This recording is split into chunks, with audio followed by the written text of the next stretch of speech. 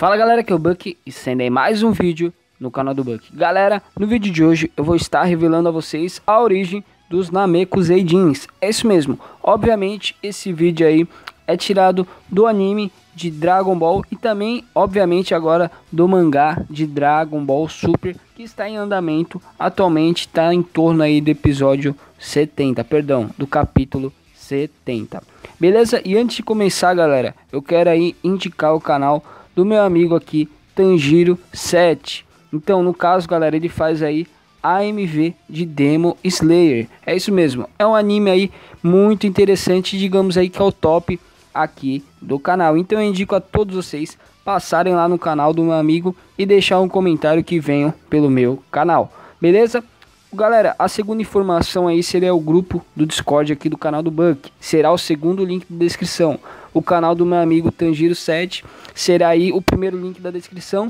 O segundo link da descrição é o grupo aí do Discord e o terceiro link da descrição é o grupo do WhatsApp aí do canal do Buck, que está um grupo muito interessante.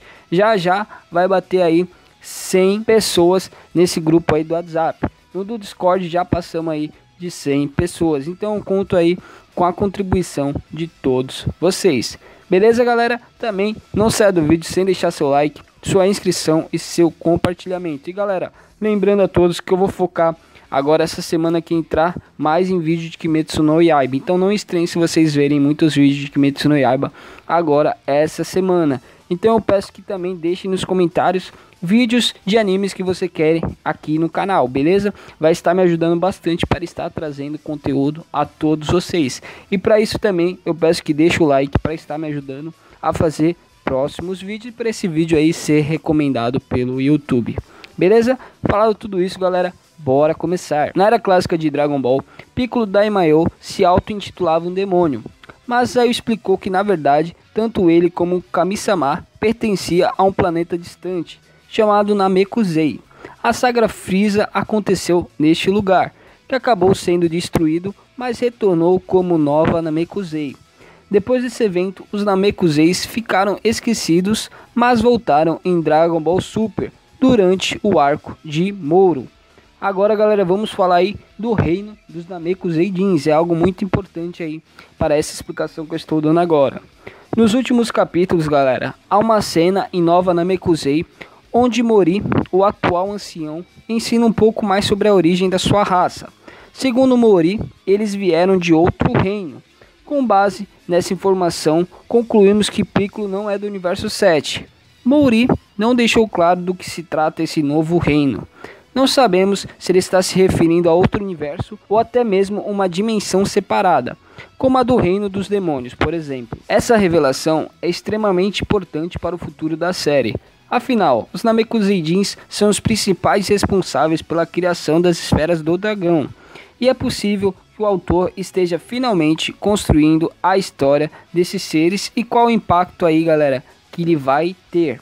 E além disso, a explicação mostra o motivo de existir Namekuseidins espalhados por diferentes planetas, como os que vivem em cereal, é obviamente aí o lar de granola. E vale lembrar ainda que isso pode servir como uma forma de tornar Piccolo mais relevante.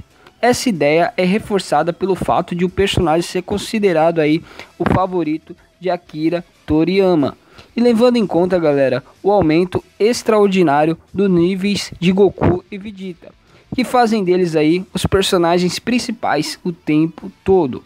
E parece ser uma boa hora para desenvolver Piccolo e dando aí um papel muito maior. E o que tudo temos agora, galera, é que os Namekuseidins viviam em um reino. Não sabemos aí se é uma dimensão paralela, se é um outro universo. Enfim, tem Namekuseidins, galera, espalhado em todo o lugar. Então eu creio aí que nessa nova saga de Dragon Ball Super eles vão enfatizar bastante aí os Namekuseidins, por até mesmo trazer novas esferas do dragão, no, novos, digamos entre aspas, um Shenlong.